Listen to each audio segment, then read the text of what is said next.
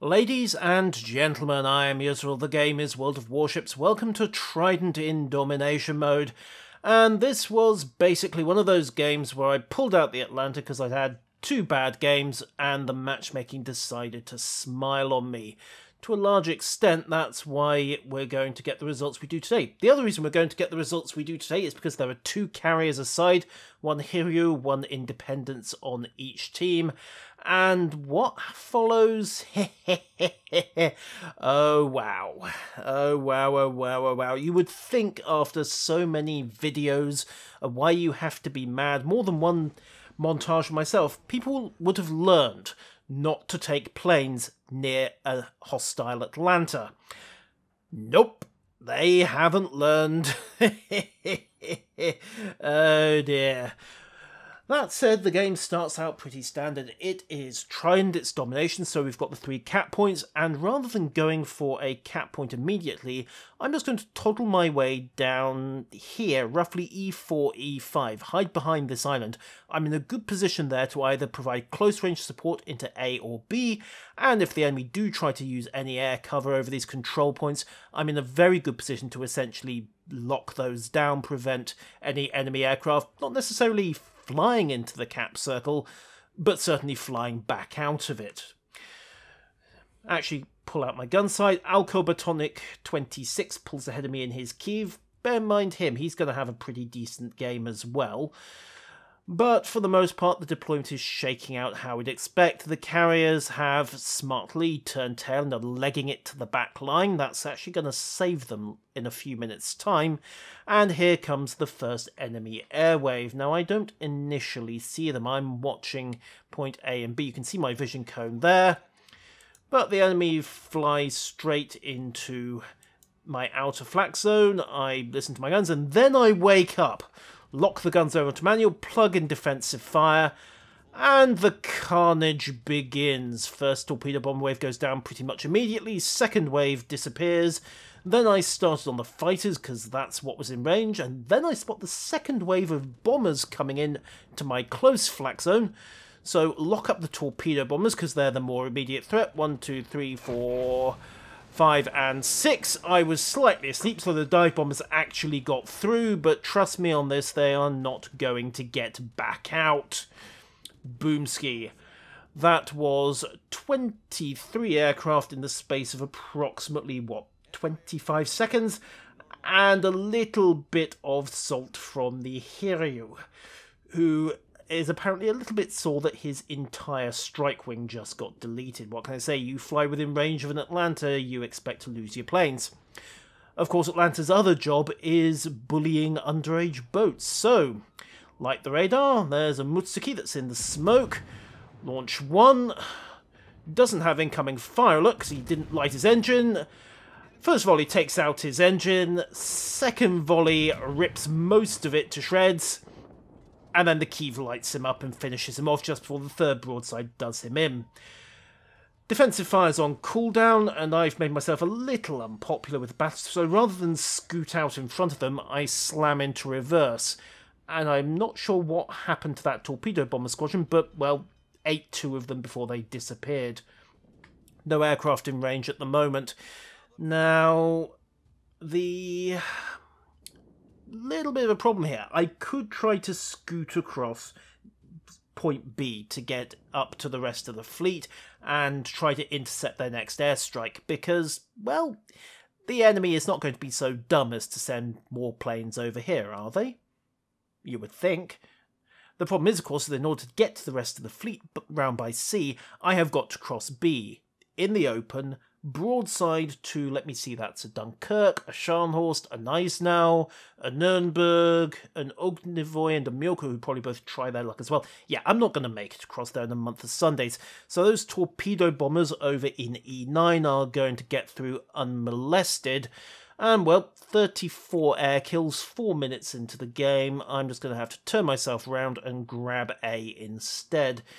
Pity, really. I was hoping this was going to be the game that let me break a hundred air kills, but sadly it's not to be. I'll drop you that spoiler right now. However, with most of the enemy fleet focused in A and two of their destroyers dead, oh looky, ooh, he he's sending dive bombers after me. Has that Hiryu... He really does want me dead, doesn't he? That's a wave of dive bombers coming in solo, unescorted. I don't even need defensive fire for this. Thank you very much. That is, well, it will be another five kills. There we go. And then the American dive bombers turn up as well. Promptly lose two, three, four. They were trying to drop on our destroyers, but it really doesn't matter. They're down four, and we catch sight of the Hiryu, legging it away from his escorts going, it has to be noted, completely the wrong way. Maybe he was trying to do a sneaky cap of A himself, I'm honestly not sure, but he's going to regret that decision in a few minutes' time. Pretty much out of range. I mean, I'd try a parting shot on this Nuremberg. He's actually backing up, so put a broadside out get detected for it, but no, main carnage target is going to be this Hiryu. So he's nice, broadside on, start putting the rounds out. Problem with the 5-inch guns, of course, is this horrendously floaty ballistics model they get. That said, doesn't stop putting 12 rounds and 7,000 damage straight into the Hiryu, and that's another 4,500. Keep dropping the salvos. Couple of rounds actually shattered, even with inertia fusing on the high explosive. At least I think I've got that on this setup in Atlanta. But not to worry, get a fire on him. Of course, that's not the crippler it used to be. And he's now really got an option. He's got to send bombers after us, because if he doesn't, he's toast. And his flight groups will be useless anyway.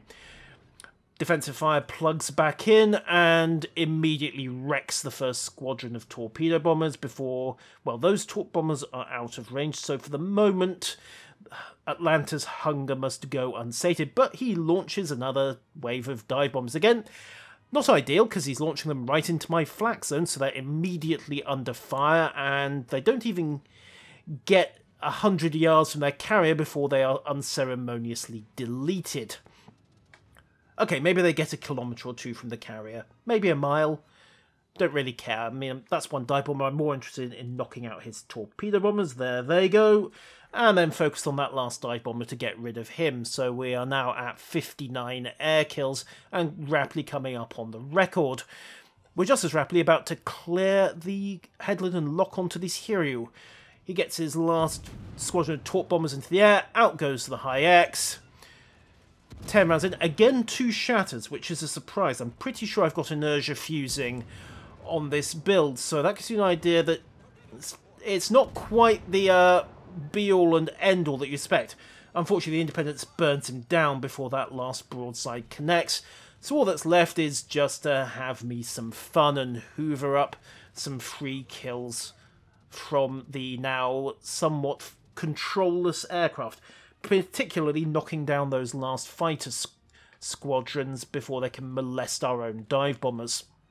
Torpedo bombers trying to come in, not sure they actually got launch orders before the Hiryus sank, doesn't really matter anymore, they're dead. And that is 72 aircraft in 8 minutes. Well, 7 and 3 quarter minutes. And 47,000 damage, but no kills, which is a little bit frustrating. As Mellinger goes, that's not nice, but more salt from the carrier driver. And yeah, come on, need more planes. Feed me, come on, feed the beast. Spoiler, they don't feed the beast. The Independence had more sense than the Hiryu. Or maybe he just run out of planes, I'm honestly not sure. However, I'm out of the action for a little bit, so we transfer our attention over to the other side. Now, there's a limit to what I can see because of my vision cone, but if we toddle over to the main section of the action, we have got B and C, where things are less smooth than we would have liked. Our carriers are safely on the back line, they're both intact. They've even got an escorting cruiser over there, which is something of a surprise. Even more of a surprise is that the Nagato is, of course, on the second line as well, providing a bit of fire support, but flanker Luke is, much to his dismay, facing the Dunkirk. Not too bad, but there's a now over there as well. Meanwhile, our cruiser, who I can't actually see because, as I said, he's out of my vision cone, is, well, there is actually a destroyer coming up behind the carrier squadron, so he might have been better off trying to reposition round behind, while I'm desperately trying to toddle along at my stately 32 knots to get back into the action, having dealt with their carriers. The real problem, of course, is over here. Executor in his Gneisenau, Sequax in his Dunkirk. And that Shiratsu, which has just unleashed nightmare mode on our Nagato. The Nagato started his engines, but, well, it's going to be luck and RNG that saves him. He eats one, he is going to eat two. Maybe he'll survive. Nope, he eats a third and is well and truly poyed out of existence. The first ship claims another victim. Yes, I'm mixing my memes here. I don't care. Torpedo bombers go in on the Scharnhorst of Manticore HB. It should be enough. We have one, two, three. Eh, no, just the one impact. It's almost enough. A second one would have got him, but he managed to turn in and dodge the worst of it. The real problem, however, is this Gneisenau, who's just turned into B. He puts rounds out. I think he is targeting our battleship there. Can't actually see who it was, because, again, limited vision curves. But I've just been picked up by enemy aircraft. And, well, we all know that Gneisenau's love feasting on cruisers. I start putting rounds in, lobbing them over the hill, just taking advantage of the floaty ballistics. And while I'm at it, try and shove a broadside into the Shiratsu as well, because hey, target of opportunity. Shiratsu goes into the smoke, puts something down approximately into her last known location, but now I have absolutely got to focus on this Gneisenau. I'm trying really to interrupt the capture on B as more than anything, but I'm crippled by the fact that I can't bring all my guns to bear. That Gneisenau is using 15 inch guns. He's got a 25 second fire cycle, give or take. And armor on an Atlanta, you must be kidding me. So, what I can do is I can turn to an extent, try to bring my port wing turret to bear. So I've got four turrets on him, trying to get the occasional round from the bow guns as well. So I've got seven turrets firing. Really need a fire here, just ripple firing, trying to get a solution. But every so often I have got to turn back in, minimize the target, and desperately at least try to minimize the damage coming in from Executor's guns. I'm also taking the old pod shot at that Independence because, hey, why not? Turn back again onto Gneisenau. Complicate things. I've got the island in the way. Gneisenau is going to be lining up for another shot. Get those guns on. Here comes another broadside from the 15s. I've overturned a 1-2 not a citadel, I'm still here, but those were a couple of big hits anyway. I lost a good quarter of my remaining health. Took a 6,000 hit, and I'm down to 15k. I can't take much more like that, but neither can Executor. He is down to 11,000 health, and I have got the reload. There go his forward turrets. Turn, turn, turn, turn, turn. Try to beat his solution. There we go, managed to evade the worst of it. Landing 3,000 aside, I get a long string of misses here where I completely get my range estimates wrong. You see they're dropping short. That floaty 5-inch is really sensitive to any kind of error in your elevation. So if you miss range, there you go, managed to correct it that time. He's also being fired on by the Kiev. Batonic has just burned down the Independence, and then he burns the Gneisenau to grab a double strike and his Kraken Unleashed. And that's basically it. That is how you can do 85,000 damage and get no kills whatsoever and still pull in 3,100 base XP. There is a little after note here, which is the Shiratsu. You can watch our chat here. We're actually speculating where he's gone. And in truth, well, we've got the last known position marker here we know B got captured, so we know the Gneisenau didn't do it, so chances are, well, as you'll see me say in chat minute, the Shiratsu has turned right, gone into B, capped, and then, well, he can't go south because he'd run into me and trip my detection radius, so he probably squirted north into this gap here.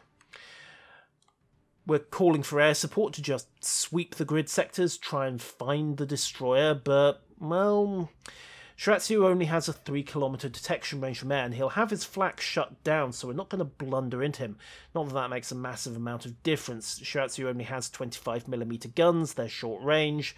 Chances are by the time the flak comes into play, he will be visible anyway, but eh, who cares? I say, he probably scuttled North Abbey, put that out in the general channel by mistake. Oops. Forgot to press tab after I asked for more planes, but, well, the carrier takes the hint, starts sending his planes to the north, and in a couple of seconds, well, it's really just a question whether we find it. Ah, there you are. Out of my visual range again, just creeping in at the 20 kilometre mark. And, well, on 7,500 with aircraft spotting him, there's really not a lot that Kerberos can do to try to salvage this particular mess. Not when he has got multiple dive bombers coming down. He takes one clonking hit from the dive bombers, drops him down to just shy of 5,000 health, and, well, he's got a battleship chasing him, so it's really just a matter of time. And with that many fighters overhead, he can't break contact either. He is out of options. It's that simple. Rounds come down. The first salvo from the battleship misses. Let's go to free camera again, see if we can get over there before the inevitable sinks in. And he is actually going to survive this because what ends the round isn't going to be him getting killed, it's going to be the score running out. We're at 992, 995. He takes another hit from the dive bombers. 998. One last volley of Hi-Ex comes down. And then it's game over with a thousand points, so he did actually manage to survive. By Atlanta's standards, this is a pretty good game. 85,000 damage off 225 main battery hits. Only managed to start three fires, but that's inertia fused high explosive for you. Of course, that's of little consolation to the 73 downed aircraft. We have, however, got ranked Season 6 coming up, and the big boys and girls are going to be playing at Tier 7, which means that Atlanta and her vicious little sister, the Flint, are in the lineup against Hiryu, Saipan, and Ranger. Carrier drivers, please take note of today's battle. An anti air spec Atlanta represents a 7.2 kilometre radius no fly zone. If you must attempt to violate that, do so with every bomber at your disposal at once. Don't do what the Hiryu did today and send them one group at a time. It probably won't help, truth be told, but there is a slim chance that if they all come at the Atlanta at once, you might get a few of the bombers through. An even better idea, however, is to get your buddies in the heavy cruisers and the battleships to remove the offending boat for you, which clears the way for your planes and the Allied destroyers to move in and not have to worry about flak or radar. The other thing is actually for wargaming. It's easy to say don't fly within 7.2 kilometers of an Atlanta, but with the current user interface, carrier players don't really have a good range indicator between their planes and an enemy ship. It's all measured from your own ship to the enemy. You know, if you're too close to an Atlanta, of course, your planes start falling out of the sky, but by that point it's usually far too late. Supposedly, the carrier interface is going to get a rework, and one thing I'd like to see added, even if it's going to make games like this a lot rarer, is an option to display the range to the enemy from either a selected flight group, which admittedly will get messy if you've got multiple groups selected, or from the centre of the camera's viewpoint. Just something to make it easier for carrier drivers to judge range between plane and enemy and stop some of these senseless massacres. Please, Wargaming, think of the pilots. Also, along with a new personal best for air kills, I have another new record most salt induced in one game. Not quite sure what to make of that, but, well, until next time, farewell.